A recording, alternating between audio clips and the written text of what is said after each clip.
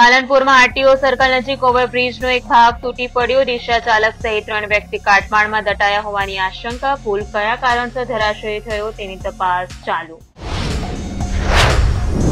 મુખ્યમંત્રી ભૂપેન્દ્ર પટેલે ગુજરાત સામયિકના દીપોત્સવી અંગ બે હજાર ઓગણએંશીનું કર્યું વિમોચન. દીપોત્સવીમાં એકત્રીસ અભ્યાસ લેખ, છત્રીસ નવલિકા, ઓગણીસ વિનોદિકા, અગિયાર નાટિકા અને એકસો બે કાવ્યોનો સમાવેશ. ગુજરાતમાં હાર્ટ એટેકથી થતા મૃત્યુના કેસમાં સતત વધારો. આજે ફરી હાર્ટ એટેકથી ત્રણ લોકોએ ગુમાવ્યા જીવ. ગીર સોમનાથમાં હાર્ટ એટેકથી બેના મૃત્યુ તો સાબરકાંઠામાં એક યુવાનનું હૃદયરોગના કારણે મૃત્યુ. જૂનાગઢના માંગરોળમાં આવેલી મદ્રસામાં શિક્ષક દ્વારા પંદર વર્ષના સગીર વિદ્યાર્થી સાથે સૃષ્ટિ વિરુદ્ધનું કૃત્ય કર્યાની ફરિયાદ. પોલીસે બે આરોપીઓને ઝડપી પાડ્યા.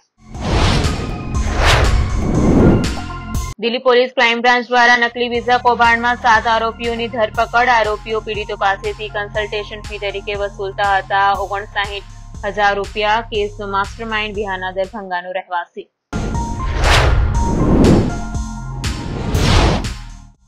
બકરી ચાના માલિક પરાગ દેસાઈને મોર્નિંગ વોક દરમિયાન શ્વાને હુમલો કરતા થયું બ્રેન હેમરેજ. અમદાવાદમાં સારવાર દરમિયાન થયું દુઃખદ અવસાન.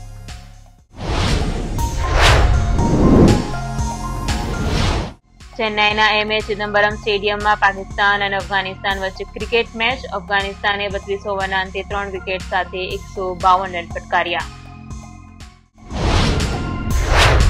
દેશમાં પેટ્રોલ અને ડીઝલના નવા ભાવ થયા જાહેર. નવી દિલ્હીમાં પેટ્રોલનો ભાવ છન્નું પોઈન્ટ બોતેર રૂપિયા અને ડીઝલ નેવ્યાસી પોઈન્ટ બાસઠ રૂપિયા. મુંબઈમાં પેટ્રોલનો ભાવ એકસો છ રૂપિયા તો ડીઝલનો ભાવ ચોરાણું રૂપિયા થયો.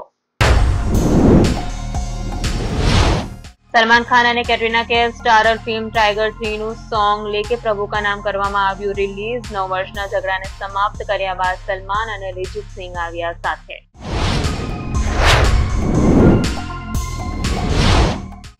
ઓડિશામાં આગામી છ કલાકમાં ચક્રવાતી તોફાન તેજ વધુ તીવ્ર બને તેવી શક્યતા. માછીમારોને છવ્વીસ ઓક્ટોબર સુધી દરિયો ન ખેડવાની અપાઈ સલાહ.